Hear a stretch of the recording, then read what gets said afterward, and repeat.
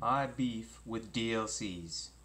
Impromptu video with Surreal Rager here. We're going to talk about downloadable content with new gen games.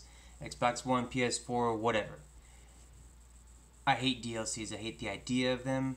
I think it's crazy that you pay 60 bucks for this game and they're like, hey, for 30 bucks more, you can get, I don't know, five more missions, three more missions, for example, or new area to discover with a whole bunch of new stuff, but it has nothing to do with the story.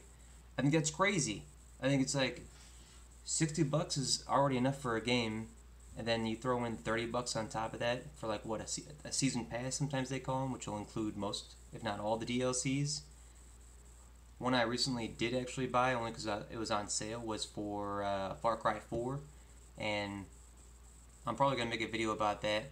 That one was kind of more okay because it was on sale. It was like 75% off, something crazy.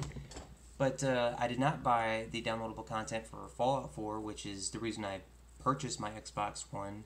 I just think it's crazy. You get you buy this game for 60 bucks and you miss out on all the stuff that they may not may or may not even made during the time creating the game.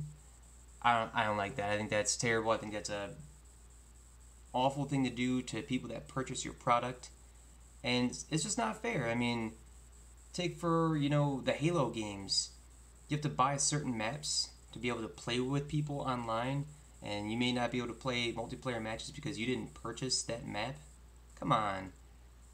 I think you're getting gypped. I think most of the stuff. Maybe they did make the downloadable content during the creation of the game. Maybe it was just leftover stuff that they couldn't fit in, that they didn't want to put in. They couldn't there's some reason. Maybe they made it during the process. I don't know if that makes it okay or not, but I feel like it's just leftover stuff that they couldn't pack into their final product and then they're spitting on you later and making you pay for it. I think it's garbage.